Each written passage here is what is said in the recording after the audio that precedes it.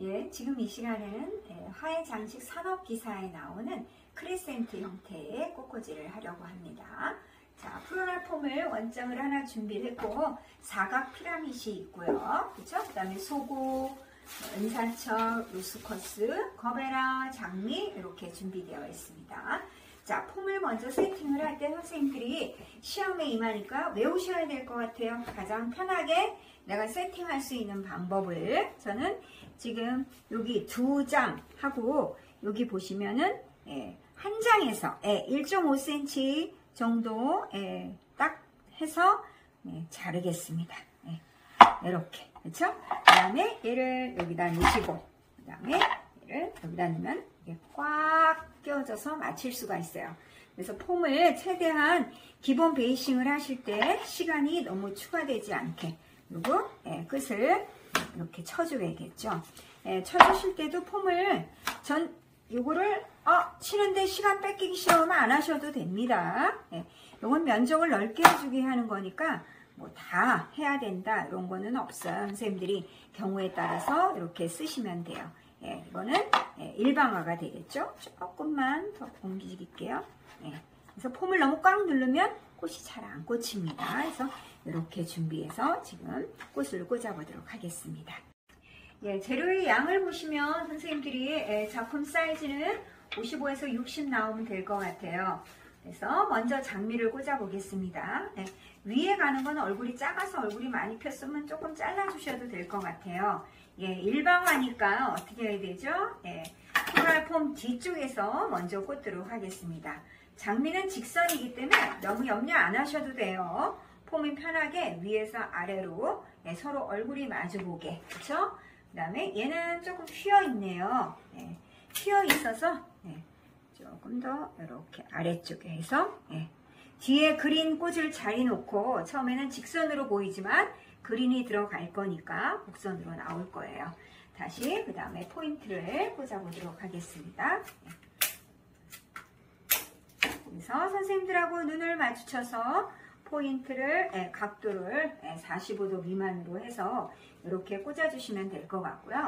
crescent는 편하게 꽂으시려면은 먼저 높이랑 지금 폭을 정했습니다. 넓이죠. 예, 폭을 정했어요. 그러면은 이 포인트 주변으로 먼저 네 송이를 꽂고 시작을 하는 게 훨씬 더 편할 거예요. 그래서 제가 여기서 음, 장미를 하나 자, 꽃이 휘어 있어서 그렇죠?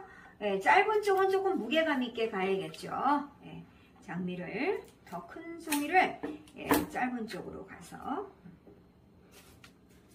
휘어 있네요. 꺾여 있어서 제가 다른 걸 쓰겠습니다. 예, 그래서 음, 아래쪽에 하나. 똑같은 꽃을 쓰실 때는 이렇게 대각선으로 써주는 게 좋습니다. 그러면 거베라 거베라 들어가면 되겠죠.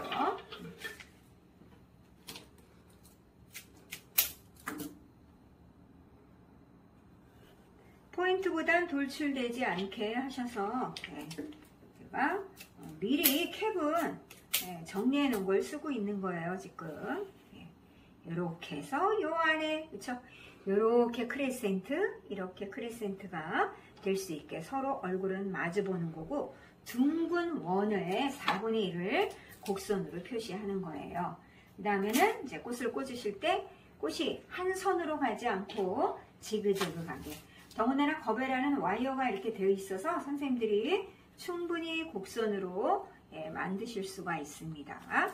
하셔서 예, 곡선이기 때문에 조금 푹 꽂아주세요. 예, 많이 꽂아주셔야겠죠.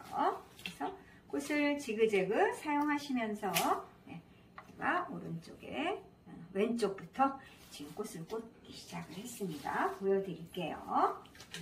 왼쪽은 예, 우리가 어떻게 해요? 조형적으로 맞추시다 보면 균형이 굉장히 중요합니다. 그래서 왼쪽의 비율은 예, 긴 쪽은 한 8 정도 맞추시면 되고 예, 오른쪽은 5, 중간 부분은 3이 되겠죠. 이렇게 해서 이쪽은 8, 여긴 3, 여긴 5.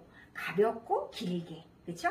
얼굴도 작은 애 쓰시고 큰 애 쓰시고 칼라도 흐린 애 쓰시고 칼라 진한 애 쓰시고 그래서 시각적인 균형을 맞춰주는 게 굉장히 중요하죠. 예.